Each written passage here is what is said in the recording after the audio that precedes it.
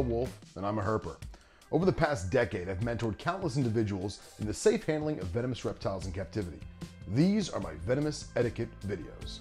I hope you enjoy.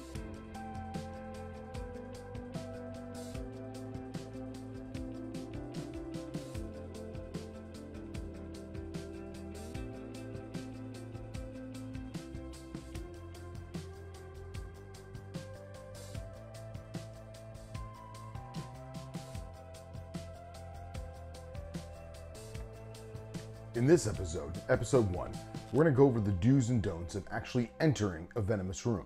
One of the first things you may ever do when handling venomous reptiles in captivity is enter the room incorrectly.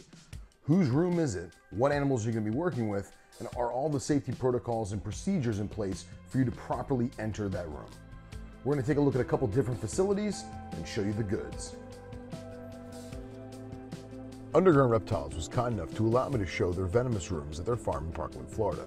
They have two rooms, one for animals being bought and sold, the other one for animals being held back for breeding. Before you ever actually enter the room, your mind needs to be clear of distractions. You need to focus on the task at hand and realize that the stresses in your day to day life can be something that can cause a life or death situation once you start handling venomous animals. Before actually entering the venomous room, take note of your surroundings outside the door posted signage such as danger venomous reptile or reptiles of concern, and any tools or equipment that may be outside the room. This is the primary venomous room of the farm. Notice how the door is locked and the lights are off. For the purpose of this training video, the door has already been unlocked. However, we can't see inside, so the use of a handheld flashlight or torch is essential to seeing if any animals have escaped and might be on the floor in front of us. We scan the room with the flashlight or torch to make sure that everything's clear and then we proceed to unlock and or open the door. I use my hand to turn the knob and then follow up by using the hook to actually push the door open.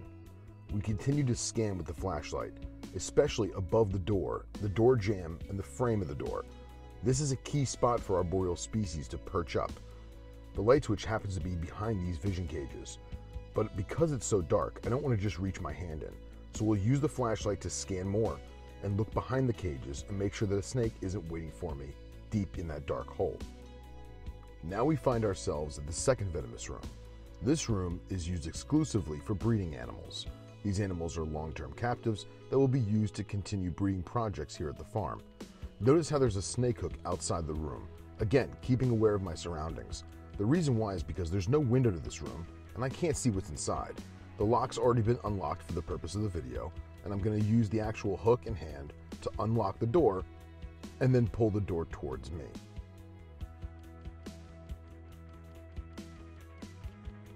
Now that the door is open, I'm going to continue to use my handheld flashlight to scan the room for possible escapees. I check the floor, the stairs, and the space above the door frame. These metal racks, although very convenient and useful, can also be quite hazardous. The space in between the metal bars makes an ideal perch for an arboreal species to just be waiting and strike out.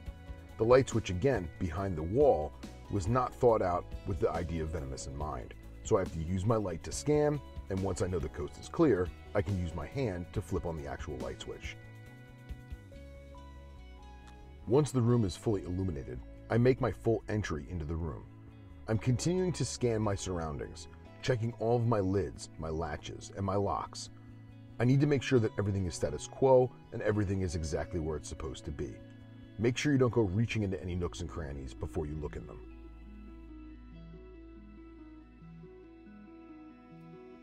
My good friend Michael Evans was kind enough to let us show his facility and show off some of the things one might look for in a venomous room. Notice the venomous placard on the main door, as well as the key locked entry with number pad.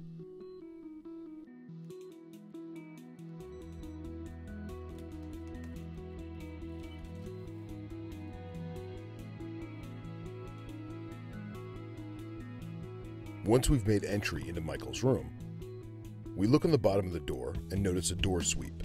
This is a rubber pad or fin that's bolted to the bottom of the door to prevent anything from going underneath the main gap in the door. It's very easy for a baby snake or lizard to climb through that air gap.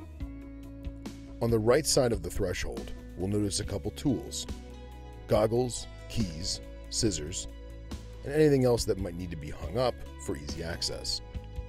On the left side, we'll notice a set of hooks hanging in little hook caddies. Notice how the handles of the hooks are facing up for rapid deployment and use.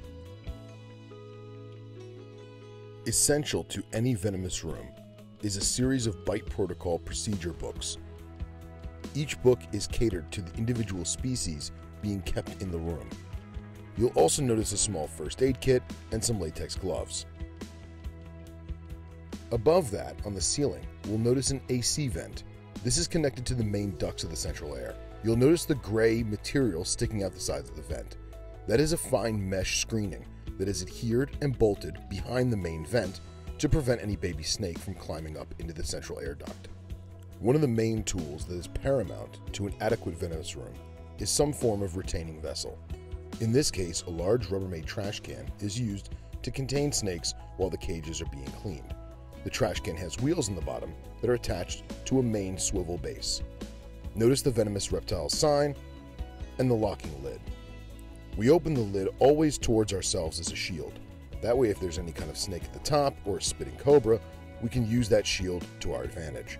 When closing, we want to slide the lid, making like an eclipse, so the snake is less prone to spit or strike or react to the opening in the gap. Always be alert and aware of your surroundings when in the venomous room. And remember, if something feels wrong or uncomfortable, it probably is. There's no shame in avoiding a situation.